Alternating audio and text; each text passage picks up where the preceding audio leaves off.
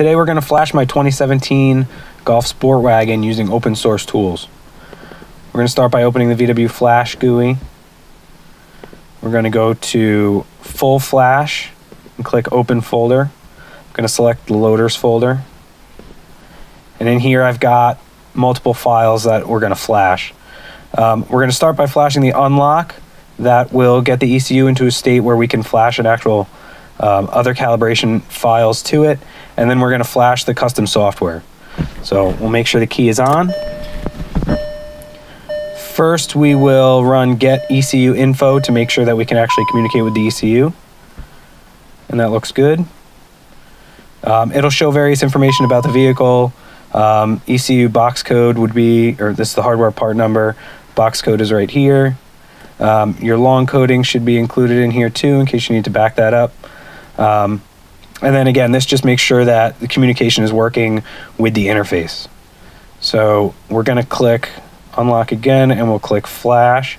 And this process will take uh, anywhere from 8 to 10 minutes um, for the unlock. And then after the unlock, we'll flash the actual file. It's going to go through a process of extracting the zip. It will compress all of the blocks before it flashes them. And then what it's going to do is one by one, it's going to delete all of the data on each block. It'll flash the data to it, verify that it's good, and then go on to the next one.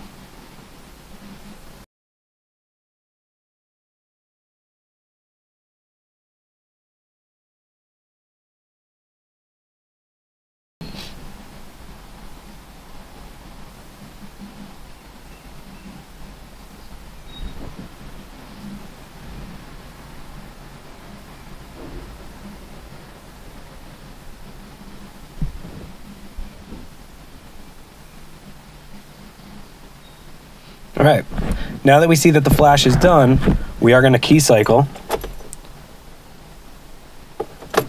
And start, don't start the car, it won't start now. And now we're gonna go and flash the actual software that we want to use on the car.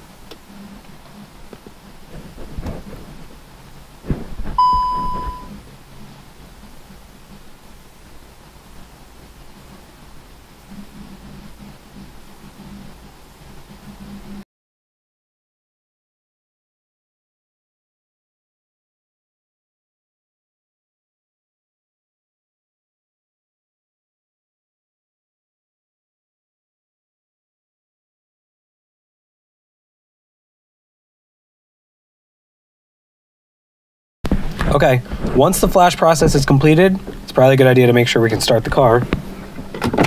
We're gonna key cycle it before we do.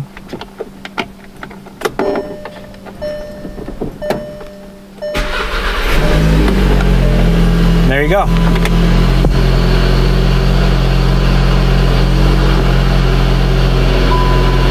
Once you've verified that the car starts and runs, you can click Start Logger. First, we're gonna select the folder that we want to use for the logger.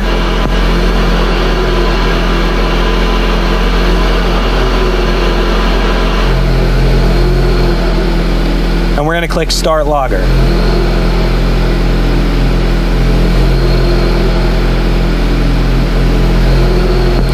To start the actual logging, you would enable the cruise control on the vehicle.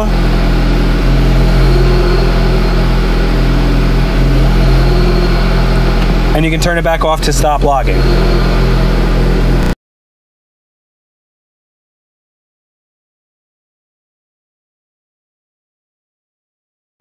So once you've had an opportunity to road test the vehicle and get some logs, we can close the GUI and we can open the, the logging directory that you chose before.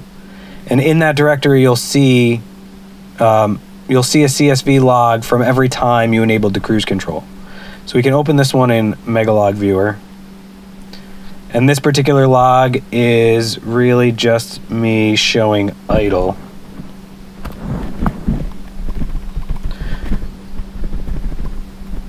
But you can see as the vehicle is warming up, we've got different parameters available to us. And that's it. I hope you found this video helpful. I will do follow-up videos for setting up the logger, using Megalog Viewer, and using Tuner Pro so we can actually modify the calibrations and reflash them using the VW Flash GUI and make changes to the car.